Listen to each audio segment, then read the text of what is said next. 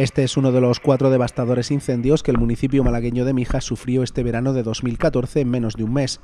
Vecinos desalojados e incluso viviendas afectadas. Tras estos sucesos, los bomberos de la localidad han incorporado las nuevas tecnologías para luchar contra el fuego. Vale, vale, vale, sí, ya le tengo cogida la ubicación. Eh, no se preocupe, no, eh, esté tranquila, le vamos a mandar un vehículo hacia allá. Se trata de la aplicación móvil SOS Emergencias, que permite contactar directamente con el parque de bomberos a través de una llamada y transmitir la ubicación exacta desde donde se realiza. Cualquier ciudadano en cualquier sitio de nuestro término pueda realizar a través de móvil, bajándose una aplicación totalmente gratuita, lógicamente, una llamada y nos da su localización y podemos hablar con él. Una herramienta que pretende ser de utilidad sobre todo en las zonas no urbanas, donde es más difícil ubicarse.